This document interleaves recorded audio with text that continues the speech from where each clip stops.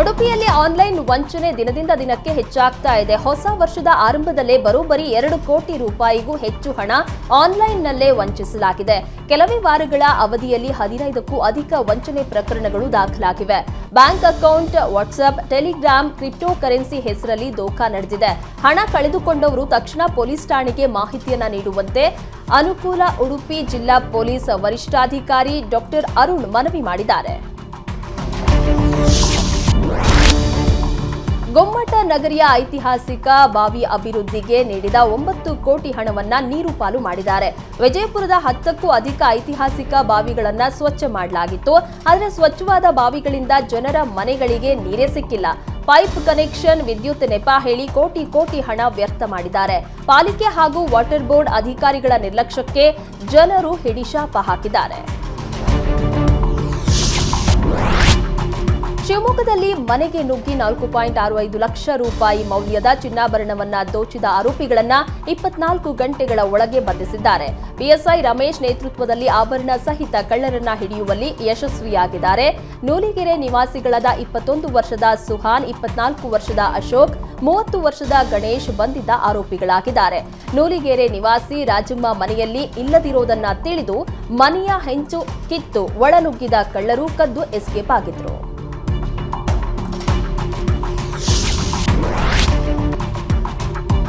ಕಿದ್ವಾಯಿ ಆಸ್ಪತ್ರೆಯ ವಾರ್ಡ್ಗಳಲ್ಲಿ ತಿಗಣೆಗಳ ಕಾಟಕ್ಕೆ ರೋಗಿಗಳು ಹೈರಾಣಾಗಿದ್ದಾರೆ. ಆಸ್ಪತ್ರೆಯಲ್ಲಿ ಸರಿಯಾಗಿ ಕ್ಲೀನ್ ಮಾಡದೇ ಇರೋದ್ರಿಂದ ಕಳೆದ ಏಳು ತಿಂಗಳಿಂದ ತಿಗಣೆ ಕಾಟ ತಪ್ತಾ ಇಲ್ಲ. ಇದರಿಂದ ರೋಗಿಗಳು ಆಸ್ಪತ್ರೆಗೆ ಬರೋದನ್ನ ನಿಲ್ಲಿಸುವ ಸ್ಥಿತಿ ಬಂದಿದೆ. ಇಷ್ಟೆಲ್ಲ ಸಮಸ್ಯೆ ಇದ್ರೂ ರೋಗಿಗಳ ಬೆಡ್ ಕೆಳಗೆ ತಿಗಣೆ ಬಂದ್ರೂ ಆಸ್ಪತ್ರೆ ಸಿಬ್ಬಂದಿ ಮಾತ್ರ ಕ್ಯಾರೆ ಅಂತಿಲ್ಲ. ಯಶವಂತಪುರ ವಿಧಾನಸಭಾ ವ್ಯಾಪ್ತಿಯ ಏರಿಯಾಗಳಲ್ಲಿ ನೀರಿಗಾಗಿ ಹಾಹಾಕಾರ ಶುರುವಾಗಿದೆ. ನಿತ್ಯ ಕುಡಿಯೋಕೆ ನೀರು ಬೇಕು ಅಂದ್ರೂ ಆರು ಕಿಲೋಮೀಟರ್ ಹೋಗಿ ಬರಬೇಕಾದ ಪರಿಸ್ಥಿತಿ ಬಂದಿದೆ. ನಾಲ್ಕು ದಿನಕ್ಕೆ ಎರಡು ಗಂಟೆ ಮಾತ್ರ ಕಾವೇರಿ ನೀರು ಬರ್ತಾ ಇದೆ. ಇದರಿಂದ ಜಲಮಂಡಳಿ ವಿರುದ್ಧ ಸ್ಥಳೀಯರು ಆಕ್ರೋಶವನ್ನ ಹೊರಹಾಕಿದ್ದಾರೆ. ಮೆಟ್ರೋ ಟ್ರ್ಯಾಕ್ಗಳಿಂದ ಪ್ರಯಾಣಿಕರನ್ನ ದೂರವಿರಿಸುವುದಕ್ಕೆ ಬಿಎಂಆರ್ಸಿಎಲ್ ಮಾಸ್ಟರ್ ಪ್ಲಾನ್ ರೂಪಿಸಿದೆ.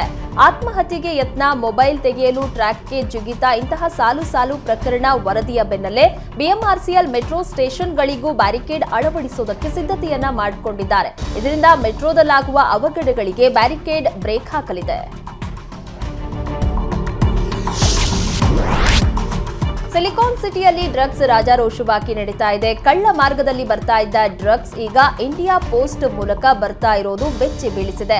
ಹೊರ ರಾಜ್ಯಗಳಿಂದ ಪೋಸ್ಟ್ ಮೂಲಕ ಬೆಂಗಳೂರಿಗೆ ಮಾದಕ ವಸ್ತು ಸಪ್ಲೈ ಆಗ್ತಾ ಇದೆ. ಖಚಿತ ಮಾಹಿತಿ ಮೇರೆಗೆ ಪೋಸ್ಟ್ ಟ್ರ್ಯಾಪ್ ಮಾಡಿದ ಸಿಸಿಬಿ ಪೊಲೀಸರಿಗೆ ಬಾಕ್ಸ್ ರಿಸೀವ್ ಮಾಡಿಕೊಳ್ತಾ ಇದ್ದ ವ್ಯಕ್ತಿಯನ್ನ ರೆಡ್ ಹ್ಯಾಂಡ್ ಆಗಿ ಸೆರೆ ಹಿಡಿದಿದ್ದಾರೆ.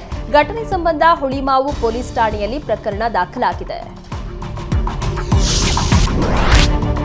ಚಾಮರಾಜನಗರ ಜಿಲ್ಲೆಯ ಮಹದೇಶ್ವರನ ಹುಂಡಿಯಲ್ಲಿ ಎರಡು ಪಾಯಿಂಟ್ ಒಂದು ಆರು ಕೋಟಿ ರೂಪಾಯಿಗೂ ಹೆಚ್ಚು ನಗದು ಹಣ ಸಂಗ್ರಹ ಆಗಿದೆ.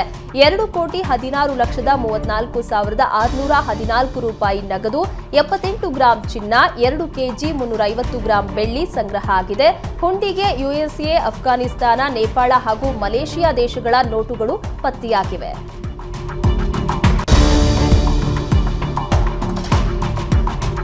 ನಾಳೆ ಫೆಬ್ರವರಿ ನಾಲ್ಕು ವಿಶ್ವ ಕ್ಯಾನ್ಸರ್ ದಿನ. ಕ್ಯಾನ್ಸರ್ನಂತ ಮಹಾಮಾರಿಯನ್ನ ಮಣಿಸಿದ ವೀರರನ್ನ ಸಂಭ್ರಮಿಸುವ ದಿನವೂ ಹೌದು. ಬೆಂಗಳೂರಿನ ಮಣಿಪಾಲ್ ಆಸ್ಪತ್ರೆ ವಿಶ್ವ ಕ್ಯಾನ್ಸರ್ ದಿನದ ಪ್ರಯುಕ್ತ ಕ್ಯಾನ್ಸರ್ ಅನ್ನ ಹಿಮ್ಮೆಟ್ಟಿಸಿದ ರೋಗಿಗಳನ್ನ ಗುರುತಿಸಿ ಗೌರವಿಸಿದೆ. ವಾಯ್ಸಸ್ ಆಫ್ ವಿಕ್ಟರಿ ಎಂಬ ಹೆಸರಿನ ಈ ಕಾರ್ಯಕ್ರಮದಲ್ಲಿ ಅನೇಕ ರೋಗಿಗಳು ತಾವು ಕ್ಯಾನ್ಸರ್ ಗೆದ್ದ ಅನುಭವವನ್ನ ಹಂಚಿಕೊಂಡ್ರು. ಕ್ಯಾನ್ಸರ್ನಿಂದ ಬಳಲುತ್ತಾ ಇರುವ ಸಾವಿರಾರು ರೋಗಿಗಳಿಗೆ ಈ ಕಥೆಗಳು ನಿಜಕ್ಕೂ ಪ್ರೇರಣಾದಾಯಕವಾಗಿದ್ದು, ಹೊಸ ಭರವಸೆಯನ್ನ ಹುಟ್ಟಿಸಿದ್ವು. ಹೊಸ ತಂತ್ರಜ್ಞಾನ, ನೂತನ ಆವಿಷ್ಕಾರಗಳ ಬಗ್ಗೆ ಮಣಿಪಾಲ್ ಆಸ್ಪತ್ರೆಯ ವೈದ್ಯರು ಮಾಹಿತಿ ನೀಡಿದರು. ಮೈಸೂರು ತಾಲೂಕಿನ ದಾರಿಪುರ ಗ್ರಾಮದ ಕೋಳಿ ಫಾರ್ಮ್ನಲ್ಲಿ ಇರಿಸಿದ್ದ ಬೋನಿಗೆ ಚಿರತೆ ಬಿದ್ದಿದೆ.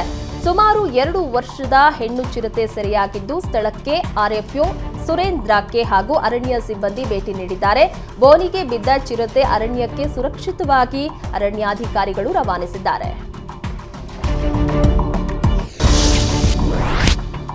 ಕಾಫಿನಾಡಲ್ಲಿ ಕಾಡಾನೆ ಗ್ಯಾಂಗ್ ಹಾವಳಿ ಹೆಚ್ಚಾಗಿದೆ. ತೋರಣಮಾವು ಗ್ರಾಮಕ್ಕೆ ಬೀಟಮ್ಮ ಟೀಮ್ ಲಗ್ಗೆ ಇಟ್ಟಿದೆ ಆದ್ದರಿಂದ ಅರಣ್ಯ ಇಲಾಖೆಯಿಂದ ಸುತ್ತಮುತ್ತಲಿನ ಗ್ರಾಮಗಳಿಗೆ ಹೈ ಅಲರ್ಟ್ ಘೋಷಿಸಿದ್ದಾರೆ. ಅನಾವಶ್ಯಕವಾಗಿ ರಸ್ತೆಗೆ ಇಳಿಯದಂತೆ ಎಚ್ಚರಿಕೆಯನ್ನ ಕೊಟ್ಟಿದ್ದಾರೆ.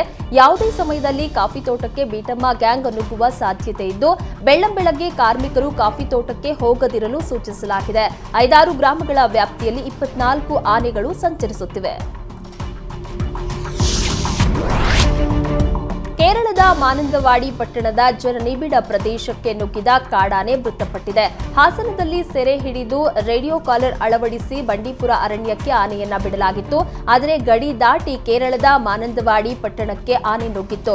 ಕೇರಳದಿಂದ ವಾಪಸ್ ಕರೆತಂದ ಬಳಿಕ ಆನೆ ಮೃತಪಟ್ಟಿದೆ ಎಂದು ಆನೆಯ ಮರಣೋತ್ತರ ಪರೀಕ್ಷೆ ನಡೆಸಲಾಗುತ್ತದೆ. ಪರೀಕ್ಷೆ ಬಳಿಕ ಆನೆ ಸಾವಿಗೆ ನಿಖರ ಕಾರಣ ಗೊತ್ತಾಗಲಿದೆ. ಎರಡೇ ದಿನದಲ್ಲಿ ಕುವೆಂಪು, ವಿವಿಯ ಕುಲ ಸಚಿವರ ದಿಢೀರ್ ವರ್ಗಾವಣೆ ಮಾಡಿ ರಾಜ್ಯ ಸರ್ಕಾರ ಆದೇಶಿಸಿದೆ. ಮೈಸೂರಿನ ಎಡಿಸಿ ಆಗಿದ್ದ ಶಿವರಾಜುರನ್ನ ಕುವೆಂಪು, ವಿವಿಯ ಕುಲ ಸಚಿವರನ್ನಾಗಿ ಎರಡು ದಿನಗಳ ಹಿಂದೆ ನೇಮಿಸಲಾಗಿತ್ತು.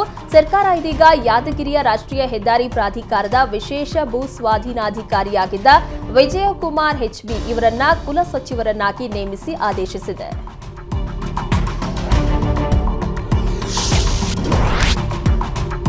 ಧಾರವಾಡ ಎಪಿಎಂಸಿಯಲ್ಲಿ ತರಕಾರಿ ಮಾರಲು ಬಂದಿದ್ದ ರೈತರ ಮೇಲೆ ಮುಸ್ಲಿಂ ವ್ಯಾಪಾರಸ್ಥರು ಮಾರಣಾಂತಿಕವಾಗಿ ಹಲ್ಲೆ ನಡೆಸಿದ್ದಾರೆ.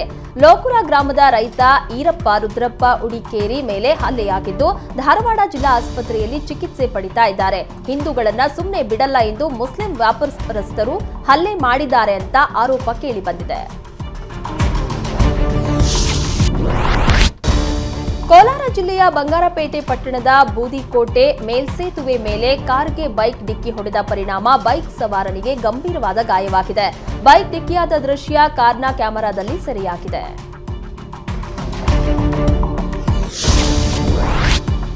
ಗಾಂಧಿನಗರ ಬೀದಿ ಬದಿಯಲ್ಲಿ ಪರ್ಮಿಷನ್ ಇಲ್ಲದೆ ವ್ಯಾಪಾರ ಮಾಡ್ತಾ ಇದ್ದ ಅಂಗಡಿಗಳನ್ನ ಬಿಬಿಎಂಪಿ ಎತ್ತಂಗಡಿ ಮಾಡಿದೆ. ಬಿಬಿಎಂಪಿ ಹಾಗೂ ಬೀದಿ ಬದಿ ವ್ಯಾಪಾರ ಸಂಘದಲ್ಲಿ ಪರ್ಮಿಷನ್ ಇದ್ದವರಿಗೆ ಮಾತ್ರ ವ್ಯಾಪಾರಕ್ಕೆ ಅವಕಾಶ ಕಲ್ಪಿಸಲಾಗಿದೆ.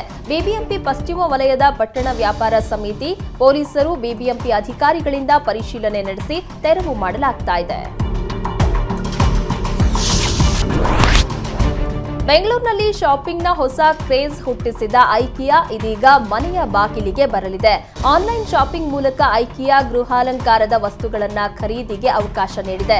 ಕರ್ನಾಟಕ ಆಂಧ್ರಪ್ರದೇಶ ಮಹಾರಾಷ್ಟ್ರ, ತೆಲಂಗಾಣದ ಅರವತ್ತೆರಡು ಜಿಲ್ಲೆಗಳಿಗೆ ಡೋರ್ ಡೆಲಿವರಿ ಸರ್ವಿಸ್ ನೀಡ್ತಾ ಇದೆ ಐಕಿಯಾ. ವಿನೂತನ ಪೀಠೋಪಕರಣಗಳಿಗೆ ಹೆಸರುವಾಸಿಯಾದ ಸ್ವೀಡನ್ನ ಐಕಿಯಾ ಸಂಸ್ಥೆ ಇದೀಗ ಏಳೂವರೆ ಸಾವಿರಕ್ಕೂ ಹೆಚ್ಚು ಪೀಠೋಪಕರಣಗಳನ್ನು ವೆಬ್ಸೈಟ್ನಲ್ಲಿ ಪ್ರದರ್ಶನಕ್ಕೆ ಇಟ್ಟಿದೆ. ಆಪ್ ಅಥವಾ ವೆಬ್ಸೈಟ್ನಲ್ಲಿ ಲ್ಯಾಂಪ್ಸ್ನಿಂದ ಮೊದಲ್ಗೊಂಡು ಚೇರ್ಗಳವರೆಗೆ ಯಾವುದೇ ಉತ್ಪನ್ನ ಆರ್ಡರ್ ಮಾಡಿದ್ರೂ ಮನೆ ಬಾಗಿಲಿಗೆ ತಲುಪಿಸುತ್ತೇವೆ ಅಂತಾರೆ ಐಕಿಯಾದ ಸಿಇಒ ಸೂಸನ್ ಪಲ್ವೇರರ್.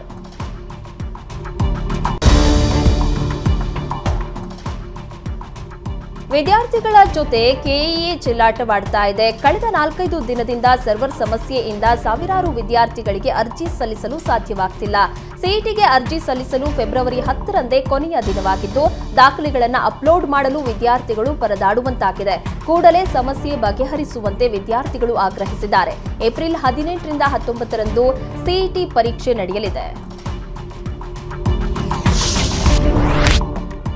ತುಂಗಭದ್ರಾ ಸಕ್ಕರೆ ಕಾರ್ಖಾನೆಯ ಜಾಗ ಎಂದು ಸರ್ವೆ ಕಾರ್ಯಕ್ಕೆ ಮುಂದಾಗಿದ್ದ ಕಂದಾಯ ಇಲಾಖೆ ಸಿಬ್ಬಂದಿ ವಿರುದ್ಧ ಶಿವಮೊಗ್ಗ ತಾಲೂಕಿನ ಪಿಳ್ಳಂಗಿರಿ ಸೇರಿದಂತೆ ಹಲವು ಗ್ರಾಮಗಳಲ್ಲಿ ಪ್ರತಿಭಟನೆ ನಡೆಸಲಾಯಿತು. ಶಿವಮೊಗ್ಗ ಉಪವಿಭಾಗಾಧಿಕಾರಿ ಸತ್ಯನಾರಾಯಣ, ಗ್ರಾಮಾಂತರ ಠಾಣೆ ಇನ್ಸ್ಪೆಕ್ಟರ್ ಸತ್ಯನಾರಾಯಣ, ಗ್ರಾಮಸ್ಥರ ಮನ ಒಲಿಸುವ ಪ್ರಯತ್ನ ನಡೆಸಿದ್ರು. ಆದರೆ ಗ್ರಾಮಸ್ಥರ ವಿರೋಧ ಹೆಚ್ಚಾದ ಹಿನ್ನೆಲೆಯಲ್ಲಿ ಸರ್ವೆ ಕಾರ್ಯ ಸ್ಥಗಿತಗೊಳಿಸಲಾಯಿತು. ಆಮ್ ಆದ್ಮಿ ಪಕ್ಷದ ಶಾಸಕರನ್ನ ಖರೀದಿಸಲು ಬಿಜೆಪಿ ಯತ್ನಿಸುತ್ತಿದೆ ಎಂಬ ಆರೋಪಕ್ಕೆ ದೆಹಲಿ ಸಿಎಂ ಅರವಿಂದ್ ಕೇಜ್ರಿವಾಲ್ಗೆ ನೋಟಿಸ್ ಜಾರಿ ಮಾಡಿದ್ದಾರೆ. ಉತ್ತರ ದೆಹಲಿಯ ಸಿವಿಲ್ ಲೈನ್ಸ್ ಪ್ರದೇಶದಲ್ಲಿರುವ ಮುಖ್ಯಮಂತ್ರಿಯವರ ಅಧಿಕೃತ ನಿವಾಸಕ್ಕೆ ದೆಹಲಿ ಪೊಲೀಸ್ ಸಹಾಯಕ ಆಯುಕ್ತ ತಂಡ ಭೇಟಿ ಕೊಟ್ಟು ನೋಟಿಸ್ ಕೊಟ್ಟು ಬಂದಿದೆ. ನಿನ್ನೆ ನೋಟಿಸ್ ಕೊಡಲು ಹೋಗಿದ್ದ ವೇಳೆ ಕೇಜ್ರಿವಾಲ್ ಮನೆಯಲ್ಲಿರಲಿಲ್ಲ. ಅದರಿಂದ ಪೊಲೀಸರು ವಾಪಸ್ಸಾಗಿದ್ರು ಇಂದು ಮತ್ತೆ ಮನೆಗೆ ತೆರಳಿ ನೋಟಿಸ್ ಅನ್ನ ಕೊಡಲಾಗಿದೆ. ಬಾಲಿವುಡ್ ನಟಿ ಮಾಡೆಲ್ ಪೂನಂ ಪಾಂಡೆ ಸಾವಿನ ಸುದ್ದಿ ಸುಳ್ಳಾಗಿದೆ. ಗರ್ಭಕಂಠದ ಕ್ಯಾನ್ಸರ್ಗೆ ಪ್ರಾಣ ಬಿಟ್ಟಿದ್ದಾರೆ ಎನ್ನುವ ಸುದ್ದಿಯನ್ನ ಖುದ್ದು ಪೂನಂ ಪಾಂಡೆ ಅವರೇ ತಳ್ಳಿ ಹಾಕಿದ್ದಾರೆ. ತಾನು ಸತ್ತಿಲ್ಲ, ಬದುಕಿದ್ದೇನೆ ಎಂದು ಪೂನಂ ಪಾಂಡೆ ಅವರೇ ಖುದ್ದು ವಿಡಿಯೋ ಮಾಡಿ ಸೋಷಿಯಲ್ ಮೀಡಿಯಾದಲ್ಲಿ ಹಂಚಿಕೊಂಡಿದ್ದಾರೆ. ನಿನ್ನೆ ಪೂನಂ ಪಾಂಡೆ ಅವರು ಸರ್ವಿಕಲ್ ಕ್ಯಾನ್ಸರ್ಗೆ ಸಾವನ್ನಪ್ಪಿದ್ದಾರೆ ಎಂದು ಅವರ ಮ್ಯಾನೇಜರ್ ಪಾರುಲ್ ಚಾವ್ಲಾ ಹೇಳಿದ್ರು. ಪೂನಂ ಪಾಂಡೆ ಅವರ ಹುಟ್ಟೂರು ಉತ್ತರ ಪ್ರದೇಶದ ಕಾನ್ಪುರದಲ್ಲಿ ನಡೆದಿದೆ ಎನ್ನಲಾಗಿತ್ತು.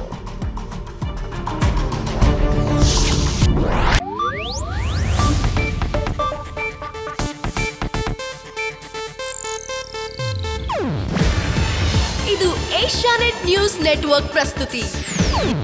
ನೀವು ನೋಡ್ತಿದ್ದೀರಾ ಏಷ್ಯಾ ನೆಟ್ ಸುವರ್ಣ ನ್ಯೂಸ್.